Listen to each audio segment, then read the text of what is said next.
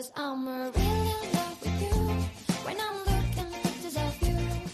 I remember moments and my heart feels like you. You've been a big surprise. My soul now feels alive. And now I know the thrill to fall in love. Arkadaşlar Volkan Karakolcu kanalımıza hoş geldiniz. Duyduğumuza göre aranızda videolarımızı izleyip hala abone olmayan, beğeniye tıklamayan, yorum yapmayan arkadaşlarımız varmış. Eniştemin kanalını enişten dileklerinizle desteklememeniz beni çok üzer. Evet bugün No 25'te sizlerle yine çok harika bir tarifle Aybike neler yapacak bakalım bize. Bakalım birazdan. Arkadaşlar bugün size tam mevsimi olan harika sevilen pumpkin spice latte yapacağız. Yeni nesil kahvecilerde pahalıya tükettiğimiz bu içeceği evde kendi imkanlarımızla aynı tatta ve daha ucuza bakalım nasıl yapıyoruz. Evet arkadaşlar şimdi pumpkin spice latte'de kullanacağımız malzemelere bakacağız. Öncelikle bizim için bir pumpkin spice tozu lazım. Tabii ki de hazır almadık. Evdeki baharatlarla karıştırdık. İçindeki malzemeleri sayıyorum. İçinde yaklaşık 1,5 çay kaşığı tarçın, 1 çay kaşığı toz zencefil, 1 çay kaşığı yeni bahar, yarım çay kaşığı muskat cevizimiz var. Muskatı rendeliyoruz. Ee, Burada da görmeniz için tekrar gösterdik. Aktarlardan temin edebilirsiniz. Yarım çay kaşığı yaklaşık da muskatımız var. Bunların hepsini karıştırdık ve pumpkin spice tozunu elde ettik. Balkabağımız var şimdi. Balkabağımızı haşlayacağız. Sütümüz ve kahvemiz de yine buradaki malzemelerimiz arasında. Evet artık şimdi yapmaya başlayacağız. Bir dakika burada bir önlük detayı. Hayır buna girmesek sevinirim ama lütfen. Arkadaşlar her yeni gelin evinde olan tatlı önlüğüm, tatlı kızıma yazılı olan önlüğümü 25'ten sevgilerle Ve gerçekten bana bu kalmış bugün. O yüzden mecbur bununla size e, tarifi sunacağız. Bir adet tatlı kız. tatlı kızlar eklesin. Evet, e, şimdi balkabağımızı doğramak için lütfen bir adet bıçak istiyorum sizden. Hemen çürek olarak. Aman şöyle koyayım ağzımızın tadı kaçmasın Ali Rıza Bey. Peki, Aa, Ali Rıza Bey. Şimdi bunları daha kolay haşlanması için küçük küçük doğramış olacağım. Ki haşlama kısmını çok beklemeyelim.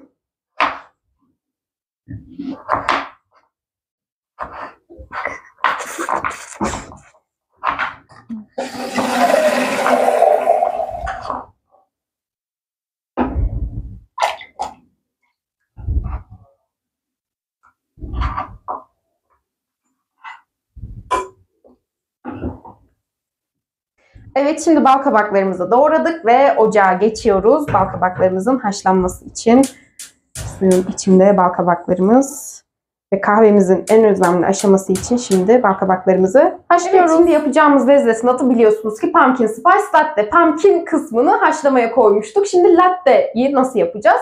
Latte dediğimiz kahve espresso shot'ın üstüne e, süt eklenerek yapılan bir kahve. Şimdi biz de o yüzden espresso demleyeceğiz. Yoksa e, çok mühim mi? Tabii ki de değil. Granül bir kahveyle ya da filtre kahveyle French press'te demleyebilirsiniz. Makinede demleyebilirsiniz. E, filtre bir kahvede kullanabilirsiniz. Ama bugün biz size orijinalinden yapalım istedik. Moka potla bir espresso demleyeceğiz sizin için. Evet kahvelerimiz burada. Kahveyi alıyorum. Şimdi moka potu nasıl kullanacağız bunu da gösterelim. Moka potun bu kısmına kahve koyuyoruz. Bunu çıkarıyorum. Şimdi bizim için en önemli kısım içindeki güvenlik sibobuna kadar su doldurmamız burada. Burada bakın görüyorsunuz içinde bir güvenlik sibobu var. Su bunun hizasını geçmeyecek ki içindeki basıncı çok fazla arttırmayalım. Şimdi o hizaya kadar ben su ekliyorum. Bu hizaya geldiğinde kapatıyorum. Bunu koyduk. Şimdi haznesini yerleştirdik. Kahvesini koyacağız. Tabii üçüncü nesil kahveci gibi elimizde malzeme yok. O yüzden tam olarak e, aslında bunu böyle belli aletlerle güzelce bastırdığımızda daha hoş bir lezzet elde ediyoruz. Çünkü alttaki su buharlaşarak aslında kahvenin arasından yukarı çıkmış oluyor. Yani biz kahveyi ne kadar çok bastırırsak o kadar güzel ve acı bir lezzet elde etmiş oluyoruz. Yine de şöyle yapıyorum ben.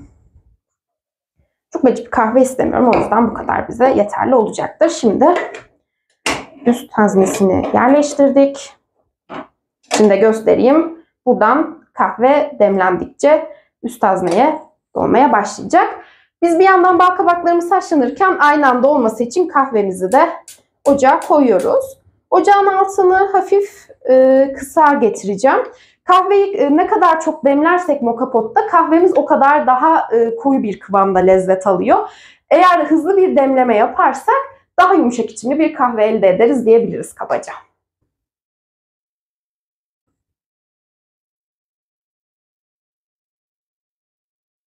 Evet şimdi bal kabaklarımız haşlandı. Bunları ezip püre haline getirmek için burada küçük bir kap kullanacağız.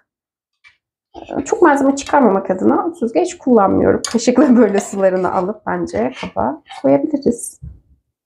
Evet kahvemizin zaten çok büyük bir kısmını yavaş yavaş halletmiş olduk. Son aşamada bunların hepsini bir araya getirip biraz da bardakta şekil yaptığınızda kendinizi o çok pahalı 3. nesil kahvecilere gitmiş ve bu kahveyi içmiş gibi hissedebilirsiniz.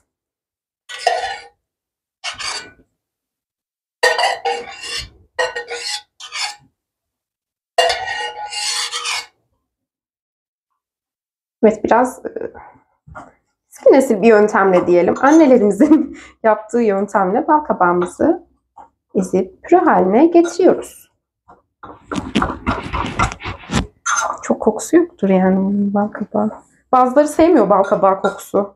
Ama ben severim böyle bu zamanlarda. Tam mevsimi. Severiz. Severiz. Bal kabağı severler. Sonbaharın geldiği için bence bir işaret gibi bir şey. Değil mi? Allah'ın.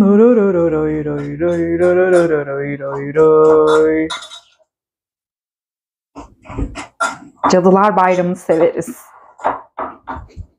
Şimdi çatalla her ne kadar essek de biraz e, o içindeki pütürü kalabiliyor. O yüzden böyle bir süzgeç yardımıyla eğer başka bir cezveye alıyorum ki bunu alma sebebim de şu.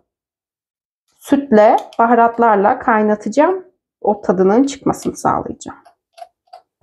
Evet Sayın Volkan Bey artık e, bir kişilik yetecek kadar bal kabağı püremizi koyduk. Şimdi üstüne geliyoruz. Güzel lezzeti bize verecek olan pumpkin spice tozumuza elimizi korkak alıştırmıyoruz. Yaptığım tozdan yaklaşık böyle bir buçuk çay kaşığı hatta biraz daha fazla ekliyorum. Siz tadını seviyorsanız çok fazla daha ekleyebilirsiniz. Süt ekliyorum. Sütü ayrı eklemeyeceğim. Bunların hepsine bir kaynatacağım ki tadını almış olalım.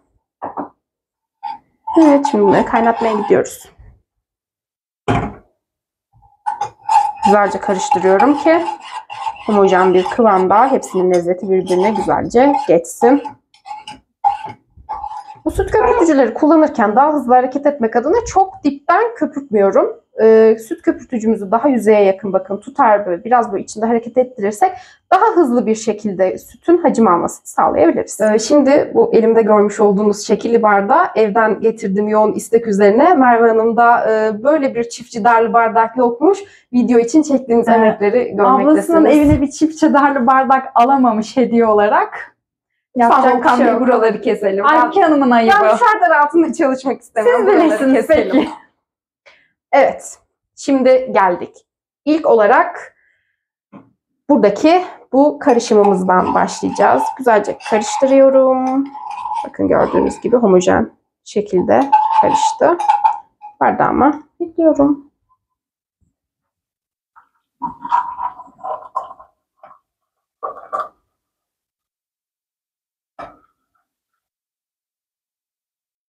Evet, şimdi kahvemizi ekliyoruz. Yaklaşık bir shot kadar da espressomuzu koyduk. Ve geliyoruz. Bu güzel görüntüyü oluşturacak süt köpüğümüzü dökmeye.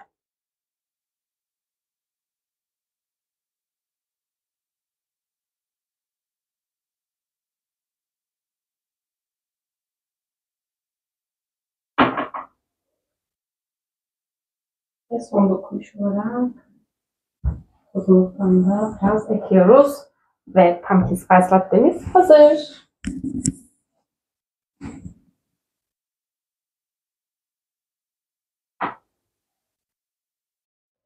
Evet havalar da yavaş yavaş soğumaya başlamış bir kış yüzünü göstermişken yapacağınız ve kendinizi şımartacağınız bu güzel lezzeti yaparken bizi izlediğiniz için hepinize çok teşekkür ederiz. Ama lütfen sizden ricamız kanalımıza abone olmayı, beğenmeyi ve yorum yapmayı unutmayın.